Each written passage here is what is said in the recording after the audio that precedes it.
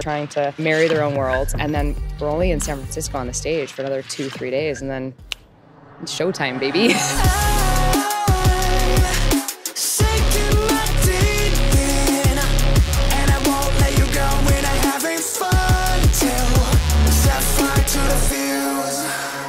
Who's smiling? was that was that the first time you watched the full thing? Uh... Full thing hard out from top till there. Yeah. And it gave me chills. One of the difficulties this year was the fact that we discovered Neon Strata as the centerpiece of the show pretty late in the game. It wasn't until July that we really started working with Riot Music to create a track. We're in talks with 88 Rising about this track, and we assumed that maybe some of their up and coming artists would be interested in working with us on it. But they instantly said, Jackson wants this one, and my heart skipped a beat. When I first found out I was working with Jackson Wang, I knew I had to step my game up. We built out a choreography section in the end of Act Two to just be with the dancers. And it's this insane drum beat with this crazy guitar solo ending Jackson's moment. Today in rehearsal, Jackson was like, wait, I want to do that. And he learned it in 20 seconds, and now he's fully in the dance breakdown. And the fact that he just threw himself in it was like so awesome. so you're here. Mm-hmm. Boom, go.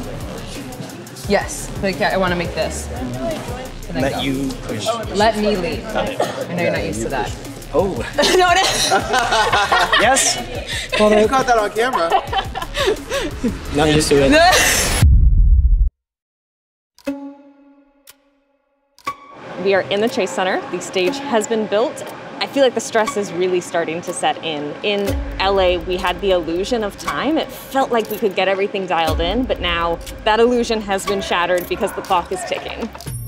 Today, we had always planned on working through each act of the opening ceremony. We started with Neon Strata this morning with Jackson. The timing is really, really tight.